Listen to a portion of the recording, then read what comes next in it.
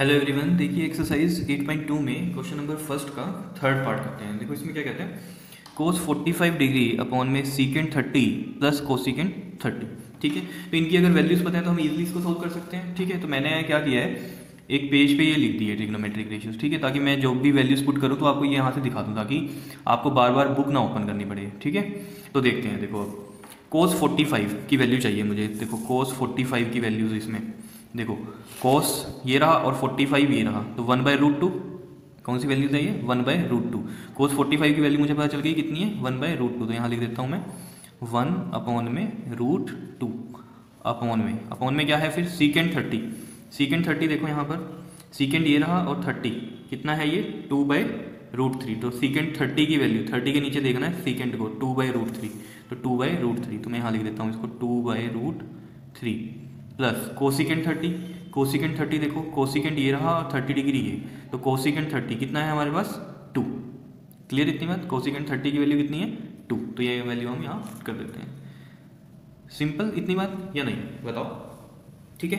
अब तो कुछ नहीं है। अब तो बिल्कुल आपका जो मैथमेटिक्स अच्छा है तो आप ये क्वेश्चन बड़े आराम से आगे कर सकते हो। बस वैल्यूज़ पता चल गई, अब कुछ भी नहीं है सॉल्व ही करना है इसको। ठीक है? देखो, मैं बताता हूँ कैसे सॉल्व करेंगे इसको। देखो। ये वन बाई रूट टू है ऊपर। One by root two upon में। नीचे देखो, ये वैल्यू है two by root three plus two इसमें एलसीएम लें। एलसीएम लेते हैं हम तो क्या आएगा? रूट थ्री एलसीएम और रूट थ्री एलसीएम आ गया तो ये डिवाइड होगा तो one one into two two plus यहाँ नीचे वन मान लेते हैं हम वन और ये। डिवाइड करेंगे तो रूट थ्री आएगा। Root three multiply by two two root three ये आ गया। ठीक है? अब मैंने आपको बताया हुआ है ये चीज़ को हम सोल्व कैसे करते हैं। जब भी इस तरह अपॉन में हो तो ये वाली वैल्यूज़ क्या चल जाएँगी? ऊपर और ये नीचे हो जाएगी। देखो कैसे?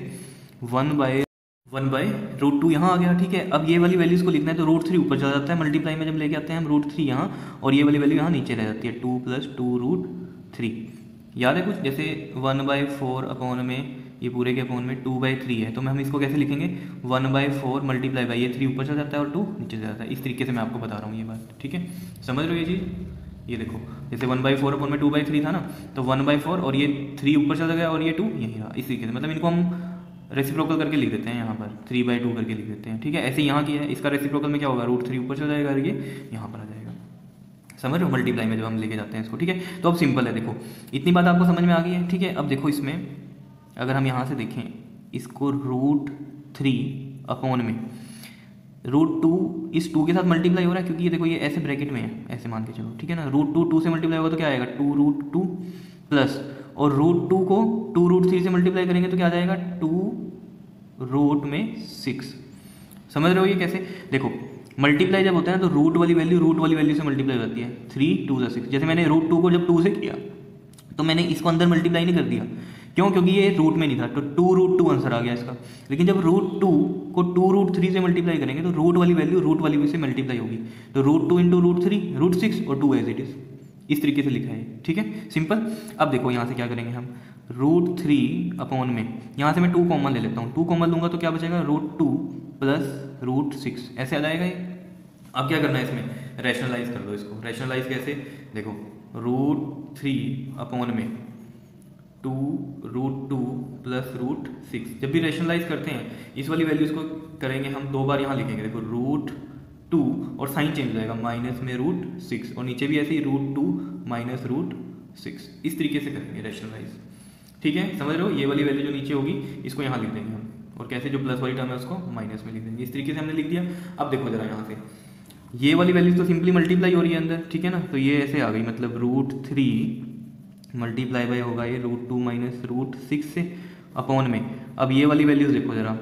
यहाँ पर ये ए प्लस बी और ए माइनस बी बन गया। ठीक है? और ए प्लस बी और ए माइनस बी क्या होता है आपके पास? A square minus B square होता है।